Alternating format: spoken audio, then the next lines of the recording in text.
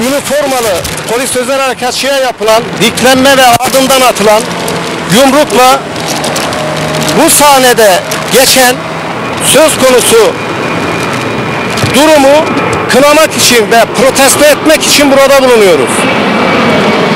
Vatanı milleti de bayrağı için tüm sevdiklerinden de yakınlarından hatta ailesinden ayrı düşüp savaşmış emektar savaşçılar olarak ve halen aktif olarak tüm bölücü terör örgütleriyle amansız mücadele verip ve bu yolda şehitler gaziler veren devletin göz bebeği milletin gururu olan kurum mensuplarına yapılan bu küçük düşürücü sahne açıkça burada kınadığımızı bildirmiş bulunuyoruz. Söz konusu yayıncı kuruluş konuyla alakalı ciddi bir yapmamış. Yapmışsa da ne bizi ne de kamuoyunu bilgilendirmemiştir.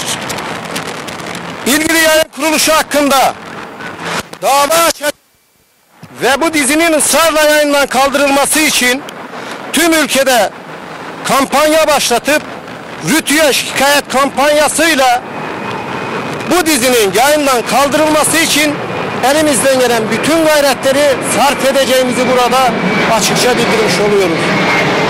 İstanbul Özel Harekatçılar Derneği olarak